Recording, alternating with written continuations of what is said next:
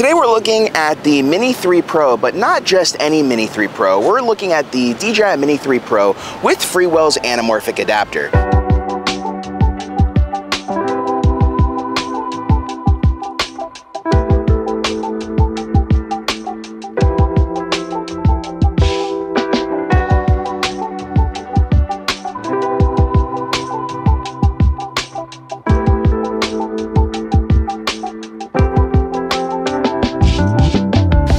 Anamorphic adapter is an interesting one because although I've been leaving it on my drone all the time, it's definitely a specialty use filter.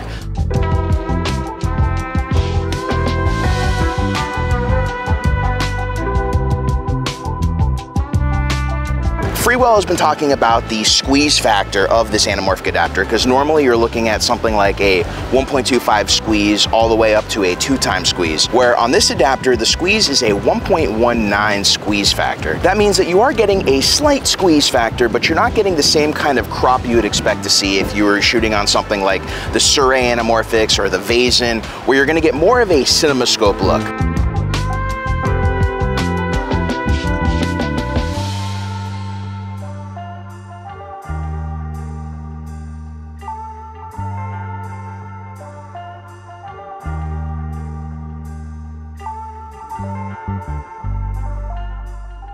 I think where this adapter comes into play is if you're shooting on a low budget production and that production is going to be anamorphic, well, using this filter with your drone will give your drone footage the anamorphic look, even if you had to add a little bit of crop to the top and bottom to have the cinemascope aspect ratio match both cameras. But using this filter, you get not only the anamorphic look, you do get a little bit of flaring and specifically blue flaring as that's the coat that's on this adapter, which is great for me because my anamorphic lenses are actually Sirui's anamorphics that have blue blue flares in them. Using this footage with my ground footage definitely helps match the footage a little bit better, so both my regular footage and my aerial footage have that anamorphic look to it.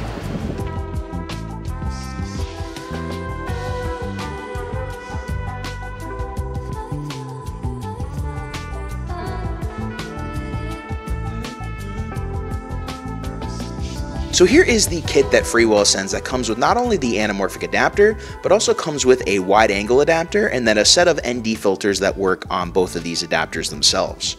Now you can fit both of these adapters on the camera lens without an ND filter and actually still use your camera gimbal protector. However, once you put the ND filter on, the camera won't quite fit with the stock protector, so just be aware, I would definitely take off the ND filters before you use either adapter. Now, a word of warning, when it's really windy, I wouldn't necessarily use the ND filters as you're already kind of edging over the weight tolerance with both the anamorphic and wide angle adapter, and it seems like in heavy wind, you just get some shaky footage or sometimes your camera gimbal may go down. I just noticed it only in heavy conditions and really still conditions. I've never had an issue. Now, I did speak to Freewell about why they chose to do a 1.19 squeeze versus a 1.25, and they said as much as they would love to do it, for whatever reason on the DJI drones, once they go to 1.25 as a squeeze, you start getting distortion in the corners, at least in the products they were making. So at this point in time, they think that they can't really make anything wider than the 1.1 0.19 squeeze, so that's why it is what it is. However, after playing with this anamorphic adapter, I am really happy with the images it produces mixed with the DJI Mini 3 Pro. And when it comes to the wide angle adapter, I'll be doing a review on it in a separate video, but I was really very excited about this anamorphic filter, so I wanted to do a video just talking about the benefits of using it. I think if you're shooting any A-roll on the ground that's anamorphic and you're trying to mix it up with some B-roll from the aerial footage, I think going the anamorphic route, especially from Freewell as they're the only option right now, makes a lot of sense on the DJI Mini 3 Pro. If you have any questions about Freewell's anamorphic adapter or you have any questions about my upcoming review with their wide angle adapter, make sure to put them in the comments below and I'll feature them in that video. If you got knowledge and value out of today's video, please make sure to also hit that like, subscribe, and notification bell to keep up to date with the latest videos from the channel. Until next time, my name is Geoff Fagien. Thank you for watching, everybody, and I will see you in the next video.